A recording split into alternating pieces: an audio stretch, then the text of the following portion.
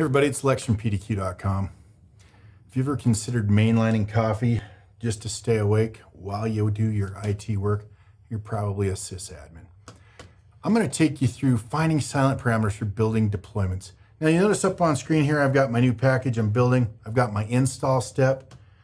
Now let's go select, you know, I'm just going to select 7-zip. So the 64-bit version is 7-zip. When you select this install file, this is an exe. And anytime you do an exe, you're going to need to provide silent parameters. If you notice right here on the command line, this is what's actually going to be run on the machine. If I were to run it the way it is right now, it's going to run. And you know, when it comes up, do you want to, you know, take the defaults? Yes, no, whatever. It goes in this, um, you know, install folder.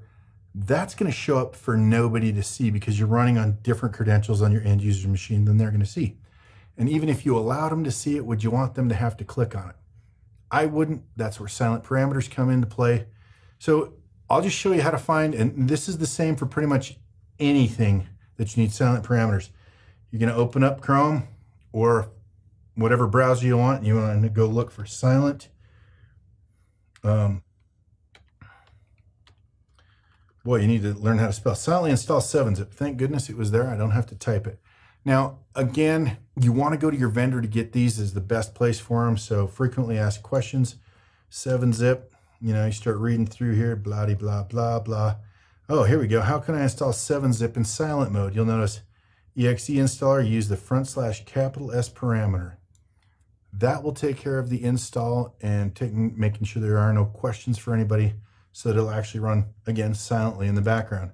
Now that was a front slash capital S. Now you'll notice where I put that on the parameter line right here.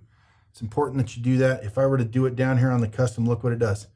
Kind of locks you out of this. I mean, there's a reason for this. It's rare, but parameters go on the parameters line and you'll notice anything I put there, it would put, you know, it just appends at the end there. So in this case, it's a front slash capital S. Um, there you go. That's how you do it. And then of course, you know, we deploy this out, this is going to run. So again, uh, Google it, go to the vendor first, and you might check with the community after that. So uh, that's where you get your silent parameters, how to do it. And uh, I'm Lex, PDQ.com. Thanks for watching.